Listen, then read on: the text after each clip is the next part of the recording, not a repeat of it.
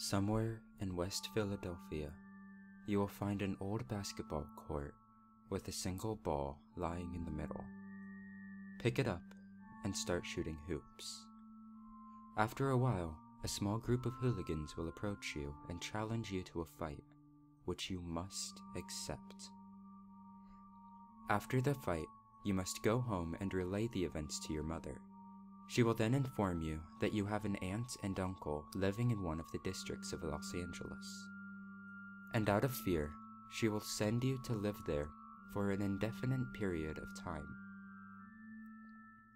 With your bags packed, go to the street corner and whistle for a cab. The cab that will pull up will bear the word fresh on the license plate. Upon closer inspection, novelty fuzzy dice will hang in the mirror. Although you will suddenly realize that cabs like these are extremely hard to find. Do not bear any thought to it.